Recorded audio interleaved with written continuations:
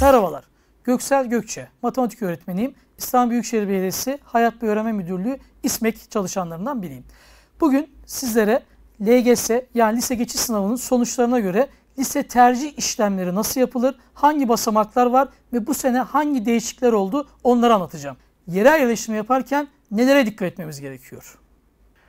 Komşu kayıt alanında öğrencinin ikametine göre komşuda kalan okulların bulunduğu alan dedik. Yerleştirme türlerine göre de biz şunu söylüyoruz. Yerel yerleştirmede arkadaşlar 5 tercih yapacaksınız.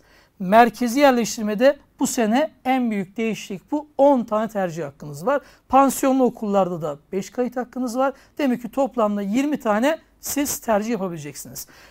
Pansiyonlu okullar bildiğiniz gibi kesinlikle yatılı okullardır. En son çizelgenin altında göreceksiniz. Zaten başvuru formunun en sonunda ek 1 diye bir tane örnek taslak tercih formu oluşturmuş. Onu doldurup resmi bir evrak değildir. Üzerinde çalışmalar yaparak son halini vererek ilçeye veya ile bütün bilgileri kontrol ettikten sonra okulun kodları dahil kendi okul müdürlüğünüzde gidip onaylatacaksınız arkadaşlar. Okul müdürünüzde onaylatmadığınız tercih olmayacak. En önemli kısımlardan biri de bu. Yerel yerleştirme her adayın yapmak zorunda olduğu bir tercihtir. Yerel yerleştirme tercihi yapmadan hiçbir tercih ekranı açılmayacak.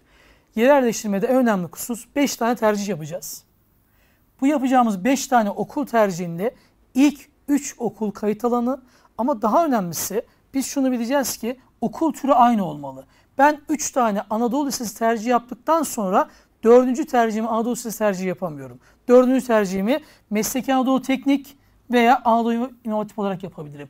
4 ve 5 bu şekilde olacak. Yerel yerleştirme ekranı açıldıktan sonra 5 tercihimizi yapacağız. Daha sonra merkezi yerleştirme, yüzdelik dilime göre tercihimizi yapıp en son pansiyonlu okullarla tercih işlemlerimizi bitireceğiz. Tercih yaparken şuna dikkat edeceğiz. Biz yaptığımız tercihle geleceğe bir adım atıyoruz. Ama daha çok adımlarımız var ve liselerle ilgili başarı yüzdeleri, liseden sonraki hayatımız kendimize katacağımız artı değerlerle ilgili herkese başarılar diliyorum.